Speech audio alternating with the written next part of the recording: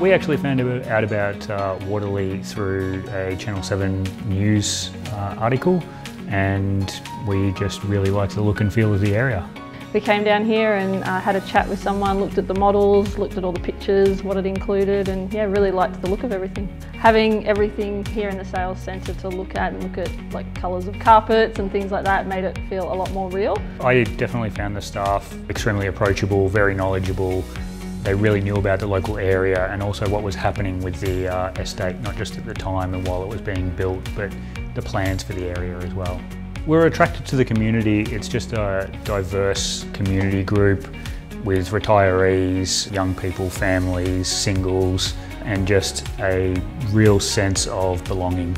We like that there was 40 hectares of parkland. I also like the fact that for us with our really busy lifestyle um, that the design of the homes and the blocks of land really suited and we didn't want anything that was high maintenance with a big backyard so that was also a big factor as well. We've actually played a part in organising a community catch-up, so we actually had a not-for-profit coffee cart come along and put the offer out to everyone in the community to come along, meet your neighbours, and it was a, a really good experience. We definitely got to know a lot more people and what's going on. As soon as you pull into the estate, it's just a sense of that zen feeling and just, okay, we can relax now, we can switch off from the crazy of work and just enjoy the evening. It's the First time in my life I've felt really proud of my home and I really want to show it off to people.